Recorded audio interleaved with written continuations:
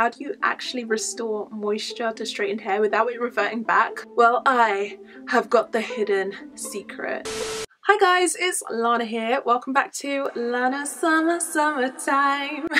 On this channel, I help you get your best curls and your best life. So if that sounds like something you'll be interested in, then hit subscribe and turn on your notifications. So today's video is a hair video and I'm going to be showing you how I refresh and maintain straightened hair because my hair is naturally curly as you know. I wanted to be completely honest with you guys and show you what my hair actually looks like on a regular basis when I've straightened my hair because let's be honest I really don't wrap my hair every night. I do it when I'm being a good human but most of the time I'm a lazy human. It's how it looked this morning, it's how it looked yesterday, it's how it looked the day before yesterday. This is so so easy. So let me just show you what this looks like. It also gives me some cute waves that I actually don't mind but I know that some people prefer their hair to be like dead straight when they've straightened it. I feel like this actually gives me a lot of body, it protects my hair and all I really have to deal with is these flyaways, which are actually really easy to manage. Alright then, so let's first talk about refreshing your straightened hair. It can get really tricky because we want to moisturize it, but we don't want it to revert back.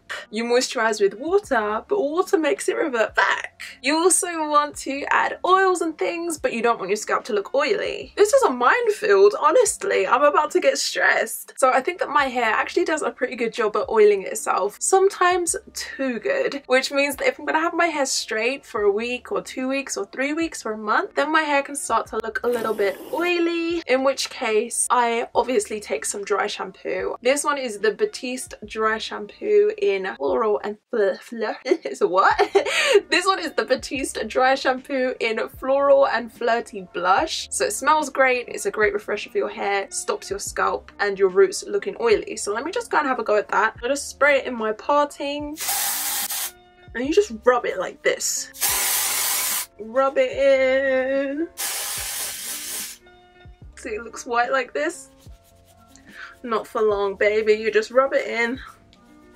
I think that this also helps to give a little bit of a volumizing boost as well so that's great if you're like me. And when you straighten your hair your hair can kind of look a bit flat and way down and a bit like a wet seal or something. So if you're like that then you'll like this stuff. For the rest of my hair, I actually want to condition it, moisturize it, add moisture, get it looking soft, silky, instead of dried out and crispy. So I know that that is me the most difficult thing to achieve with straightened hair. Like how do you actually restore moisture to straightened hair without it reverting back? Well, I have got the hidden secret. Well, I'm going to tell you how I do it. And honestly, I don't know if the science is correct behind it, but it's what works for me. So I'm going to share it with you. This is one of my secret sources. This is the IGK Thirsty Girl Coconut Milk Leave-In Conditioner with 24-hour frizz control. Patented hyaluronic acid technology forms a rich moisture barrier for deep hydration and protection against hair damage pollutants. This thing is dry. This is a dry hairspray. It's a leave-in conditioner, but... Where'd she go? it's cloud, it's smoke, it's gone. It's amazing. I'll show you on this little piece of hair down here. Ha ha ha ha ha ha!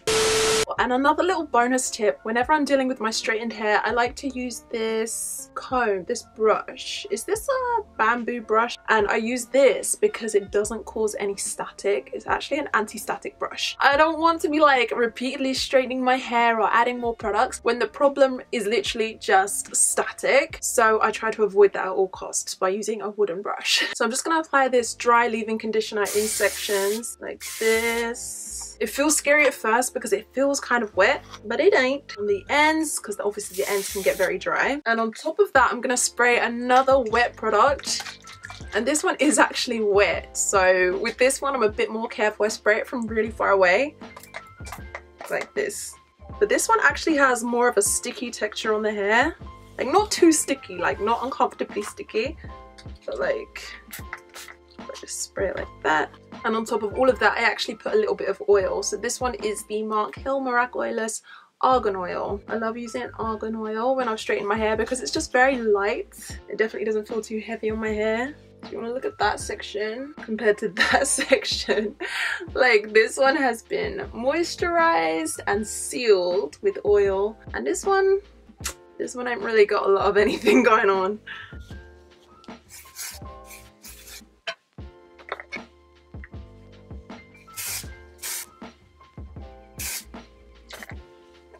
Okay, so I haven't really fixed up the rest of my hair at the root and stuff, but I just wanted to show you the difference between the refreshed, moisturized side and the side that has not been re-moisturized. So the hair feels kind of difficult to run my fingers through because it is just a little bit dry, especially towards the ends. Whereas this side has had a drink, it's a lot softer, it's a lot easier to run my fingers through it, so if you really are worried about this reverting back, which I really don't think it's gonna, but for the time being, we can just wrap this up. So the reason I wrap my hair up like this is because it creates tension on the hair. And when there's tension, it's really hard for the hair to revert back because it might try and it can't because it's literally being pulled into this style. So this is what I do like if I go to the gym or if I'm in a hot environment like at the club. So once again, I'm gonna section the hair I'm spray.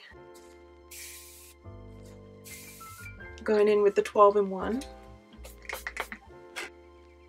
Perfect! It almost looks like a cold dip when all I really did was keep it in a bun for three days straight.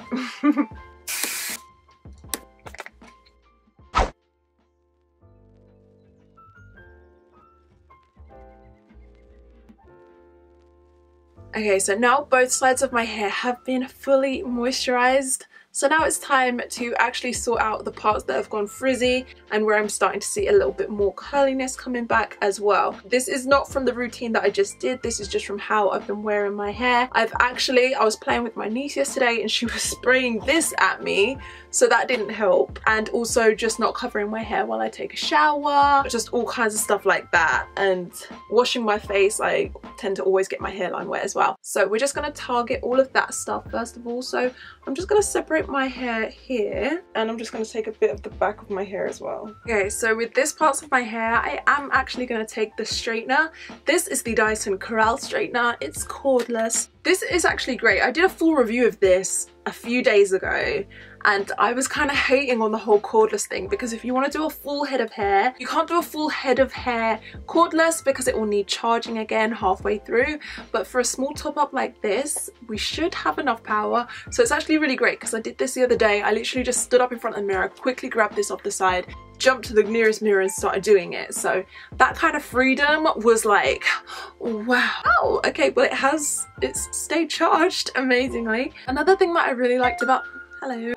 Another thing that I really liked about this straightener that I didn't get to mention in the review video is that this didn't burn my hair. This one actually has 50% less heat damage because of the plate technology. And I think that it must have worked because my hair did not smell burnt. So I guess this did not burn my hair. Now look at us go, baby.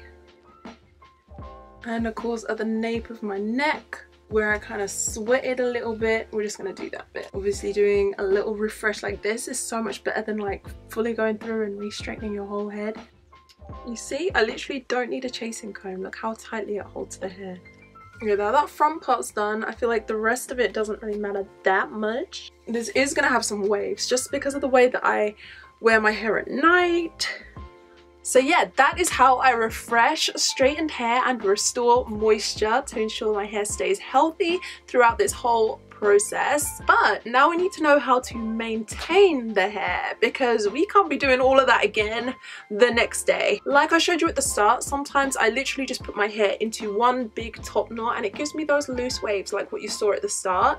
Sometimes I also put my hair into two buns so that I can have some more symmetrical waves on both sides and that just means twisting the buns in opposite directions on each side. That's actually a favourite of mine because I actually prefer the waves look to dead straight and I just feel like my hair sticks better with that than dead straight. I feel like if I step outside I'm more likely to get frizz like this whereas if I have the waves I feel like my hair just prefers it, just sticks with it. So I feel like it's just easier for everyone to just do the waves. However, if I want my hair to stay dead straight, that is when I would do the wrapping method. And as long as you don't get the tops of your hair wet when you're doing your wash routine and that kind of thing, you should be able to avoid waves at the top of your head that is how I refresh my hair, how I restore moisture, how I maintain my hair when it's been straightened. So if you enjoyed this video, please thumbs it up.